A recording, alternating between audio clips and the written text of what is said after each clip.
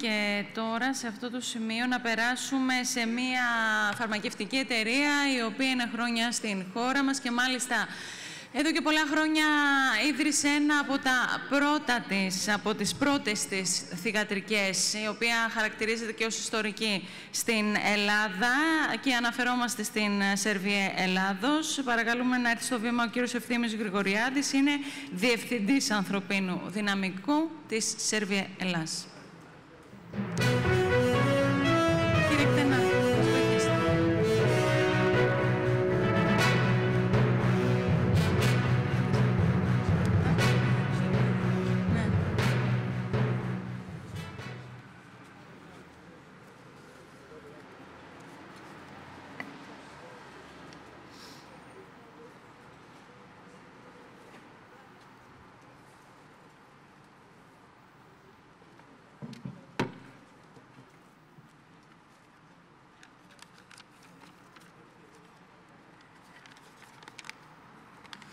Καλησπέρα σας.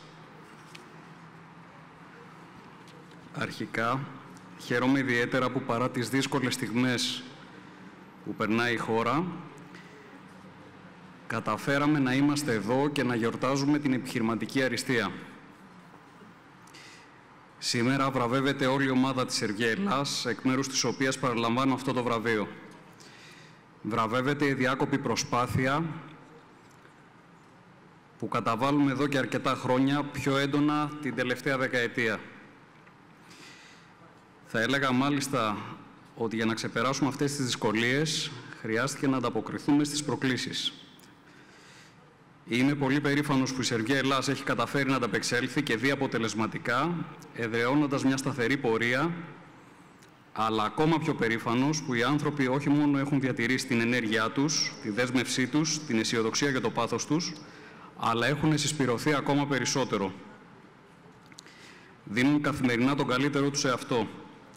Γι' αυτό το λόγο θα ήθελα να ευχαριστήσω θερμά, καθώς αυτό το βραβείο που βρίσκεται εδώ οφείλεται στη δικιά τους προσπάθεια. Ως εταιρεία η οποία δραστηριοποιείται στη φαρμακευτικό κλάδο, δεσμευόμαστε ότι θα συνεχίσουμε να επενδύουμε στους ανθρώπους μας και ότι θα κάνουμε το καλύτερο δυνατό για τον Έλληνα ασθενή ο οποίος βρίσκεται και θα συνεχίσει να βρίσκεται στην καρδιά όλων μας των δράσεων. Ευχαριστούμε θερμά τη New Times Publishing για την εξαιρετική διοργάνωση υπό αυτές τις δύσκολες συνθήκες.